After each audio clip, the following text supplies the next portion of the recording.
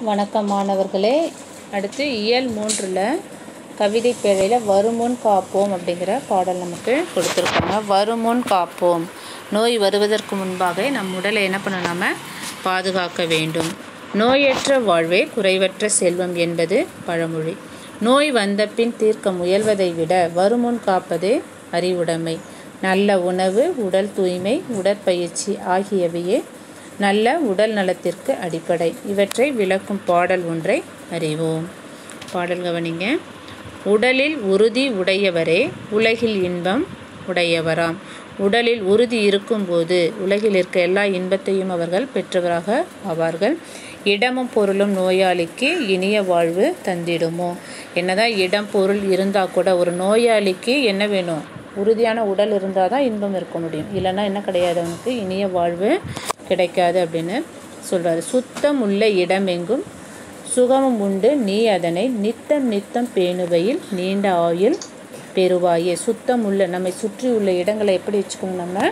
சுத்தமாக வைக்கும்போது நமக்கு என்ன கிடைக்கும்? சுகம் உண்டு.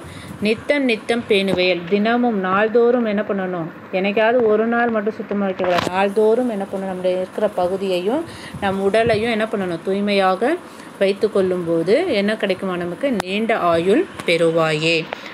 நீண்ட ஆயுள் பெறுவாயே அப்படிங்கிற. என்னென்னலாம் செய்யணும் பாரு? காலை மாலை உலாவி நிதம். காலையிலையும் மாலையிலையும் என்ன பண்ணணும் நம்ம?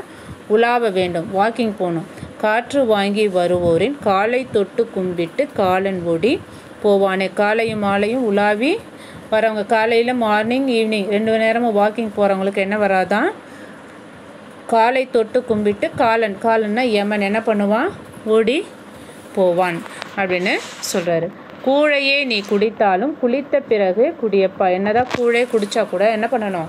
குளித்த பின்பு தான் குடிக்கணும். ஏழையே நீ ஆனாலும் இரவில் நன்றாய். உறங்கப்பா. அதே மாதிரி இரவு நேரத்தில் நமக்கு நல்ல தூக்கம் இருக்கணும். நல்லாக நன்றாக உறங்கும் போது எந்த நோயும் நமக்கு வராது. சரியா? இரவில் வந்து அதிக நேரம் கண் விழுத்து என்ன பண்ணக்கூடாது? தொலைக்காட்சி பார்க்கக்கூடாது. அல்லது வேறு எந்த வேலை காரியங்களையும் நம்ம செய்யக்கூடாது. இரவு நேரம் வந்து நீண்ட நல்ல தூக்கம் இருக்கணும். தூக்கம் இருந்தால் எந்த நோயும் நமக்கு என்ன பண்ணாது? வராது. மட்டுக்குணவை உண்ணாமல் வாரி வாரி தின்பாயல். அதாவது சாப்பாடு அளவுக்கு அதிகமாக நம்ம என்ன பண்ணக்கூடாது? உணவு நல்லா டேஸ்ட்டாக இருக்குது ருசியாக இருக்குதுன்னு சொல்லிட்டு என்ன பண்ணக்கூடாது? அளவுக்கு அதிகமாக உணவை நாம் என்ன பண்ணக்கூடாது?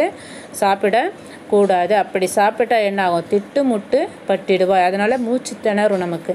திணறி என்ன வருமா? தினோயில் நம்ம விழுந்துடும் தினமும் பாயில் விழுந்துடுவாய். மூ நமக்கு திணறி திணறி என்ன ஆகிடும் செ செரிமானம் ஆகாது. நல்லா அஜீரண ஜீரணம் ஆகாமல் என்ன ஆகிடும் அது?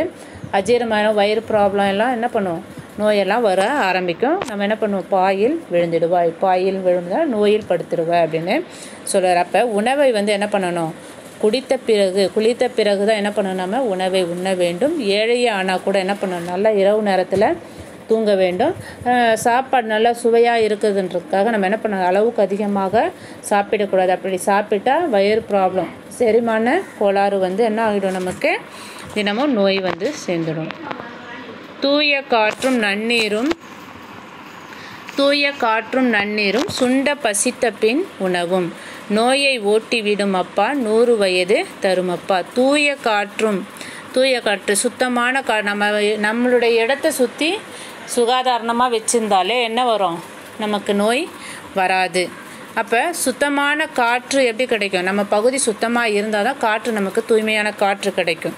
அதே மாதிரி நல்ல நீர் நல்ல நீரும் நம்ம என்ன பண்ணணும்? அருந்தணும். சுண்ட பசித்த பின் தான் சாப்பிட்ணும். நல்லா ப சுண்டனா நன்கு. நன்கு பசித்ததுக்கு அப்புறம் தான் நம்ம என்ன பண்ணணும்? உணவை உண்ண வேண்டும். நோயை ஓட்டி விடும் அப்பா நூறு வயது தரும் அப்பா. அப்படி செய்யும் பொழுது நமக்கு என்ன ஆகிடுமா நோய் நம்மை விட்டு விலகிவிடும் நூறு வயது நமக்கு தரும். அருமை உடலின் நலமெல்லாம் அடையும் வழிகள் அறிவாயே. இதுதான் இவர் சொன்ன மேற்கொ மேலே சொன்னார் பற்றி அந்த வழிமுறைகளின் படி நம்ம நடக்கும்போதே என்ன வருமோ? நோயே நமக்கு கிடை வராது. வரும் முன்னே நம்ம என்ன பண்ணலாம்? நம்ம பாதுகாக்கலாம். வருமுன் நோயை காப்பாயே வையம் வாழ வையம் புகழ வாழ்வாயே அப்படின்னு இந்த பாடலை எழுதியவர் யார் அப்படின்னா தேசிய கவி விநாயகனார். தேசிய கவி விநாயகம் அப்படின்றத எழுதினார். இவர் யார்? கவிமணி என போற்றப்படும் தேசிய விநாயகனார் குமரி மாவட்டம் தேரூரில் பிறந்தவர். முப்பத்தாறு ஆண்டுகள் ஆசிரியராக பணியாற்றியவர். இவர் ஆசிய ஜோதி மருமக்கள் வழி மான்மியம் கதர் பிறந்த கதை ஆகிய கவிதை நூல்களையும் உமர் கய்யாம் பாடல்கள் என்னும் மொழிபெயர்ப்பு நூலையும் படைத்துள்ளார். மலரும் மாலையும் என்னும் நூலிலிருந்து ஒரு பாடல் என்ன பண்ணியிருக்காங்க நமக்கு? கொடுத்துருக்காங்க. நமக்கு வந்து இந்த பாடலை எழுதியவர் யார்? தேசிய கவி விநாயகனார். இவர் வந்து முப்பது ஆண்டு காலம் என்னவா பணியாற்றியிருக்கிறார்? ஆசிரியராக பணியாற்றியிருக்கிறார். சொல்லும் பொருளும் பாருங்கள் நித்தம் நித்தம் அப்படின்னா நாள்தோறும். மட்டு அப்படின்னா அளவு. சுண்ட அப்படின்னா நன்கு. வையம் அப்படின்னா உலகம். பேணு வெயில் பாதுகாத்தல். திட்டு முட்டுனா தடுமாற்றம். பாடலின் பொருள் பாருங்க. உடலில் உறுதி உடையவரே உலகில் இன் மகிழ்ச்சி உடையவராம். உடல் உறுதியற்ற நோயாளர்களுக்கு வாழும் இடமும் செல்வம் இனிய வாழ்வு தராது. சுத்தம் நிறைந்துள்ள எல்லா இடங்களிலும் சுகம் உண்டு. நாள்தோறும் நீங்கள் தூய்மையை போற்றி பாதுகாத்தால் நீடித்த வாழ்வை வாழ்நாளை பெறலாம். காலையும் மாலையும் நடைப்பயிற்சி மேற்கொண்டு நல்ல காற்றை சுவாசித்து வருவோரை நோய் அணுகாது. அவர் உயிரை கவர யமனும் அணுக மாட்டான். எனவே நீங்கள் கூழை குடித்தாலும் குளித்த பிறகே குடித்தல் வேண்டும். நீங்கள் வறுமையில் வாழ்ந்தாலும் இரவில் நன்றாக உறங்குதல் வேண்டும். அளவாக உண்ணாமல் அதிகமாக உண்டால் செரிமானம் தடுமாறி நாள்தோறும் நோய்வாய்ப்பட்டு பாயில் விழுவீர்கள். அதிகமாக சாப்பிட்டா என்ன ஆகும்? நோயில் தான் விழணும் தூய்மையான காற்றும் நல்ல குடிநீரும் நன்கு பசித்த பிறகு உண்பதும் நம்மை நோய் அணுகாமல் காப்பாற்றும். நூறாண்டு வாழ வைக்கும். அரிய நம் உடல் நலமோடு இருப்பதற்கான வழிகள் இவை என்பதை அறிவீர்களாக. ஆகவே நோய் வருமுன் காப்போம். உலகம் புகழ வாழ்வோம். உலகம் புகழ வாழ்வோம். கற்பவை கற்ற பின் பாருங்கள் தன் சுத்தம் என்னும் தலைப்பில் என்ன பண்ண படத்தொகுப்பு ஒன்று உருவாக்க. இது வந்து ஆக்டிவிட்டியாக செய்யுங்க. தன் சுத்தம் நம்மளுடைய செல்ஃப் கிளீனஸ் எப்படிலாம் பண்ணலாம் எப்படி என்னென்ன செய்யணும் அது வந்து ஒரு படத்தொகுப்பு மாதிரி என்ன பண்ண ஆல்பம் மாதிரி செய்யுங்க. இது வந்து ஆக்டிவிட்டியாக செய்யுங்க. சரிங்களா? செகண்ட் கொஸ்டின் பாருங்கள் சுகாதாரம் பற்றிய பழமொழி பழமொழிகளை தொகுத்து எழுதுக. எடுத்துக்காட்டு ஒன்று கொடுத்துருக்காங்க. சுத்தம் சோறு போடும். அதுமாதிரி சுகாதாரம் பற்றி என்னென்ன பழமொழிகள் உங்களுக்கு தெரியும்? ஆளுக்கு ஒரு ரெண்டு ரெண்டு பழமொழிகள் எடுத்து என்ன பண்ணுங்கள் எழுதி அனுப்பிவிடுங்க. மதிப்பீடு பாருங்கள் சரியான விடையை தேர்ந்தெடுத்து எழுதுக. காந்தியடிகள் டேஷ் போற்ற வாழ்ந்தார். என்ன போற்ற வாழ்ந்தார்? வையம் போற்ற வாழ்ந்தார். நலமெல்லாம் என்னும் சொல்லை பிரித்து எழுத கிடைப்பது நலம் கூட்டல் எல்லாம். இடம் கூட்டல் எங்கும் என்பதனை சேர்த்து எழுத கிடைக்கும் சொல் இடமெங்கும் வருமுன் காப்போம். இப்பாடலில் இடம்பெற்றுள்ள மோனை எதுகை இயைபு சொற்களை எடுத்து எழுதுக அப்படின்னு சொல்லியிருக்காங்க. மோனை அப்படின்னா ஒரு பாடலில் முதல் எழுத்து ஒரே மாதிரி வரும்போது. அது என்னென்னு சொல்லுவோம் நம்ம? மோனை அப்படின்னு சொல்லுவோம். எதுகை அப்படின்னா இரண்டாவது எழுத்து ஒரு ஒன்றி வருவது எதுகை. இயைபுனா கடைசி எழுத்து ஒன்றி வருவது இயைபு அப்படின்னு சொல்லுவாங்க. பாடலில் பாருங்கள் ஃபஸ்ட்டு ஃபஸ்ட் லைனில் பாருங்கள் உடலின் உடலின் அப்படின்னும் போது அதில் ஊங்கிற எழுத்தும் உலகின் பாரு உலகில். இது ரெண்டுத்துலேயும் முதல் எழுத்து என்ன வந்துருக்கு? ஒரே மாதிரி வந்திருக்கு. ஊ ஊன்னு கொடுத்துருக்காங்க. அதே மாதிரி இடமும் இனிய சுத்தம் சுகம் நித்தம் நீண்ட காலை காற்று காலை காலன். இப்படியே முதல் எழுத்தெல்லாம் ஒரே மாதிரி வந்திருக்குதுல அந்த ரெண்டு ரெண்டாக என்ன பண்ணுங்கள் அதை எடுத்து அந்த டேஷ் மாதிரி கொடுத்துருக்காங்களா அதுலேருந்து எழுதுங்க. அதே மாதிரி இரண்டாவது எழுத்து பாரு. இப்போ இரண்டாவது எழுத்து இப்போ உடலில் இடமும் பாருங்கள் ரெண்டாவது எழுத்துன்னு இருக்குது டா டா இருக்கா? ஒரே மாதிரி இருக்குது இப்போ இது என்னன்னு சொல்லணும் நம்ம? எதுகை அப்படின்னு சொல்லுவோம். அதேமாரி வேற எங்கெல்லாம் இருக்குது சுத்தம். சரியா? அதேமாரி நித்தம். இப்போ ரெண்டாவது எழுத்தெல்லாம் இந்த பாடலில் வேறு எங்கே இருக்குது காலை காலை கூழை ஏழை. என்ன பண்ணுங்கள் அந்த ரெண்டாவது எழுத்து எல்லாமே என்ன பண்ணுங்கள் எடுத்து ஒன்று எழுதுங்க. சரியா? அந்த பாடலில் இருக்க ரெண்டாவது எழுத்து எங்கெல்லாம் ஒன்றி வந்திருக்குன்னு பாருங்கள் அதெல்லாம் எதுகையில் எடுத்து எழுதணும். சரியா? அடுத்து வந்து இயைபு அப்படின்னு சொல்லுவோம்.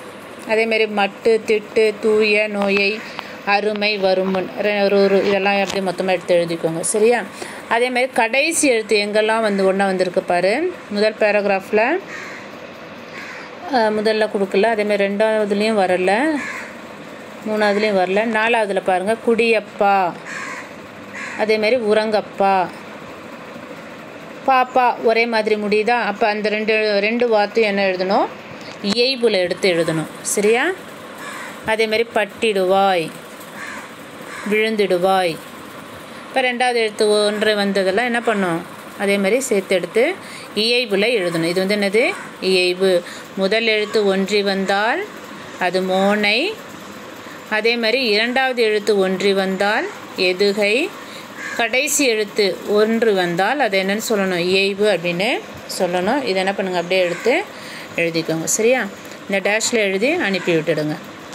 ஓகேவே கிளாஸ் ஒர்க்கு புக்கு இருக்கவங்க புக்கிலே எழுதிக்கோங்க. இல்லாதவங்க கிளாஸ் ஒர்க்கில் எழுதி அனுப்புங்க. குருவினா பாருங்கள் நம்மை நோய் அணுகாமல் காப்பவை யாவை? நம்மை நோய் வராமல் நம்ம பாதுகாக்கணும்னு நம்ம என்ன செய்யணும்? அப்படின்னு கொடுத்துருக்காங்க. பாடலின் பொருளில் பாருங்கள் ரெண்டாவது பேராகிராஃபில் காலையும் மாலையும் நடைப்பயிற்சி மேற்கொண்டு நல்ல காற்றை சுவாசித்து வருவோரை நோய் அணுகாது. இந்த எல்லோ கலரில் ரெண்டு லைன் மார்க் பண்ணியிருக்கேன் பார்த்தீங்களா? அது ஃபஸ்ட்டு குருவினாக்கு ஆன்சராக எழுதிக்கோங்க.